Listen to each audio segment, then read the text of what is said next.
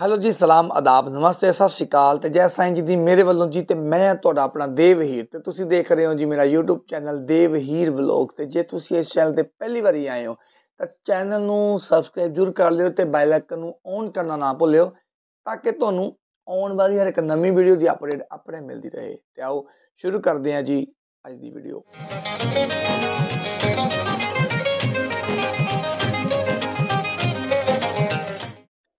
ਅੱਜ ਦੀ ਵੀਡੀਓ ਦੇ ਵਿੱਚ ਜੀ ਤੁਹਾਡੇ ਸਾਰਿਆਂ ਦੇ ਲਈ, ਆਪਣੇ ਸਾਰਿਆਂ ਦੇ ਲਈ ਨਕੋਦਰ ਦਰਬਾਰ ਜਾਣ ਵਾਲਿਆਂ ਦੇ ਲਈ ਇੱਕ ਜ਼ਰੂਰੀ ਅਨਾਉਂਸਮੈਂਟ ਆ।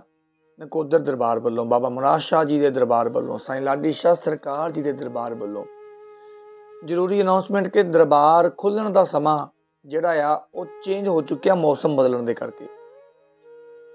ਹੁਣ ਨਕੋਦਰ ਦਰਬਾਰ ਆਮ ਦਿਨਾਂ ਦੇ ਵਿੱਚ ਸਵੇਰੇ 6 ਵਜੇ ਖੁੱਲ ਕੇ ਸ਼ਾਮ 7:30 ਵਜੇ ਤੱਕ ਦੀ ਟਾਈਮਿੰਗ ਆ, ਆਮ ਦਿਨਾਂ ਦੇ ਵਿੱਚ।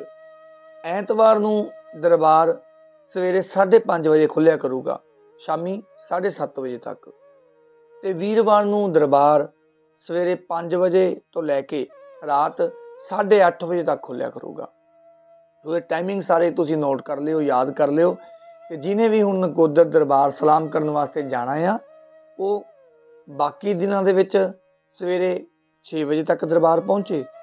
ਐਤਵਾਰ ਨੂੰ ਤੁਸੀਂ 5:30 ਵਜੇ ਤੱਕ ਪਹੁੰਚ ਸਕਦੇ ਹੋ ਤੇ ਵੀਰਵਾਰ ਨੂੰ ਤੁਸੀਂ 5 ਵਜੇ ਪਹੁੰਚ ਸਕਦੇ ਹੋ। ਤੇ ਵੀਰਵਾਰ ਨੂੰ ਜਿਹੜੀ ਟਾਈਮਿੰਗ ਲਾਸਟ ਦਰਬਾਰ ਦੀ ਆ, ਉਹ 8:30 ਵਜੇ ਤੱਕ ਦੀ ਆ ਤੇ ਬਾਕੀ ਦਿਨਾਂ ਦੇ ਵਿੱਚ ਸ਼ਾਮੀ 7:30 ਵਜੇ ਤੱਕ ਦੀ ਆ। ਸੋ ਇਹ ਵੀਡੀਓ ਵੱਧ ਤੋਂ ਵੱਧ ਸ਼ੇਅਰ ਕਰ ਦਿਓ ਤਾਂ ਕਿ ਸਾਰਿਆਂ ਨੂੰ ਇਹ ਟਾਈਮਿੰਗ ਪਤਾ ਲੱਗ ਸਕੇ। ਜੈ ਸਾਈਂ ਜੀ ਦੀ।